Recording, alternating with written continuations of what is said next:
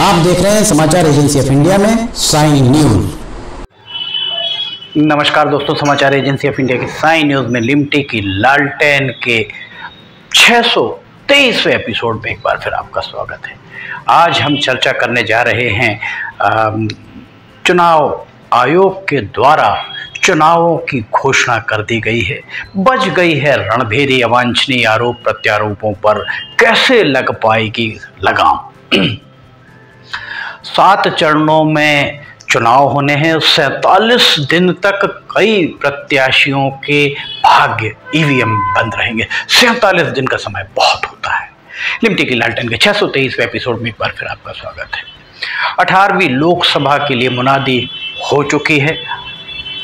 इसके बाद, इस बार लोकसभा की 543 सीटों के लिए सात चरणों में चुनाव होंगे।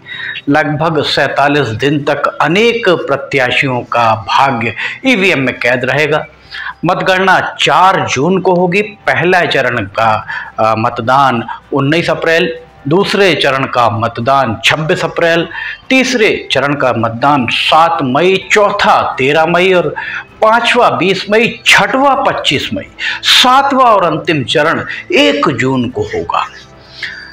मतदान 1 जून को संपन्न होगा, सातवें और अंतिम चरण का।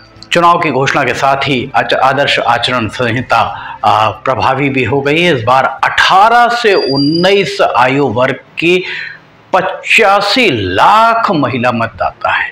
इसके अलावा 19 से 29 साल के मतदाताओं की संख्या 19 करोड़ चौहत्तर लाख है। पचासी साल से अधिक आयु वर्ग के मतदाता घर से ही मतदान कर सकेंगे, जैसी विधानसभा में कुछ राज्यों में सुविधाएँ दी गई थी। मतदान के बारे में हम बता दें, पहले चरण हेतु तो चुनावी प्रक्रिया 20 मार्च को आरंभ होगी। इसका नोटिफिकेशन जारी 20 मार्च को होगा। नामांकन दाखिल करने की अंतिम तिथि 27 मार्च। नामांकन पत्रों की जाँच अगले दिन 28 मार्च को की जाएगी।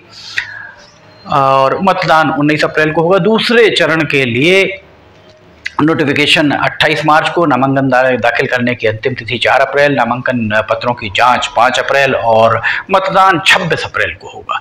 तीसरे चरण के लिए नोटिफिकेशन 12 अप्रैल को जारी होगा।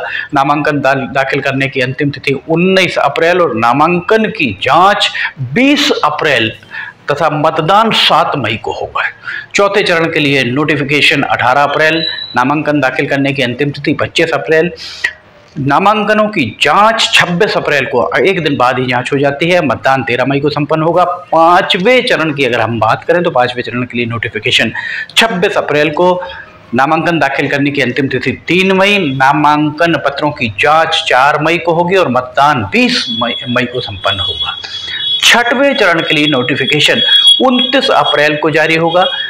नामांकन दाखिल करने की अंतिम तिथि 6 मई होगी। नामांकन पत्रों की जाँच सात मई को और मतदान 25 मई को किया जाएगा। मतदान इसका पच्चीस मई को संपन्न होगा। सातवें और अंतिम चरण के लिए नोटिफिकेशन सात मई को। नामांकन दाखिल करने की अंतिम तिथि 14 मई।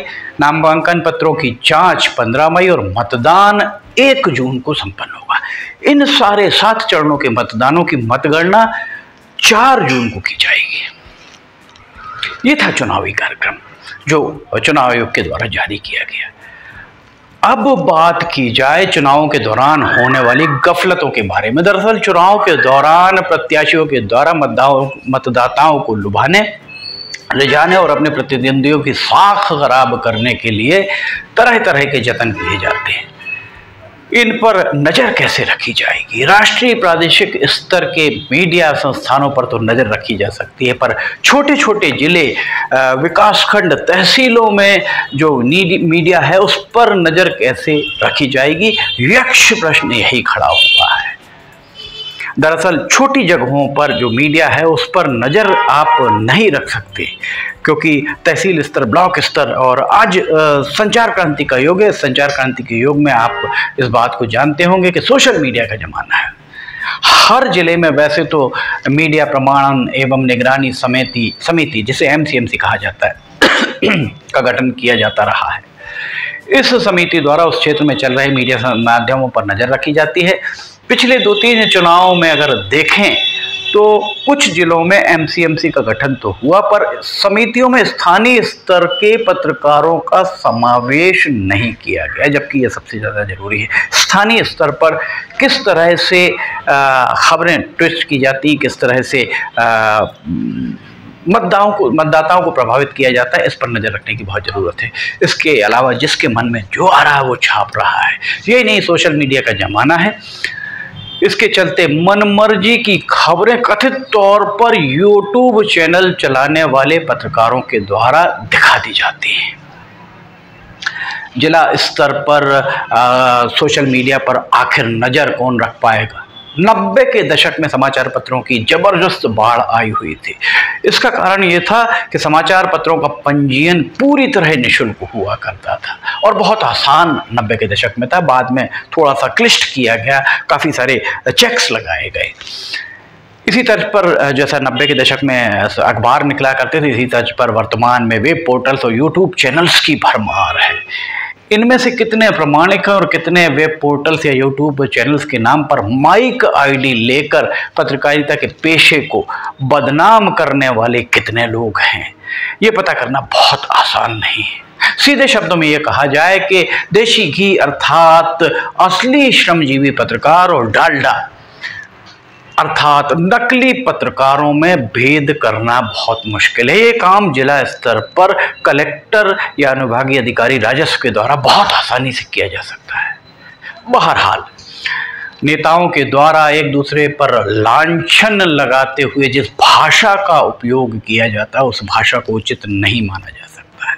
चुनाव आयोग को चाहिए कि नेताओं के लिए भी पृथक से गाइडलाइन जारी की जाए। ताकि आपसी सौहार्द पूरी तरह बना रहे और इसके लिए उस गाइडलाइन का कड़ाई से पालन भी सुनिश्चित कराने की ज़रूरत है।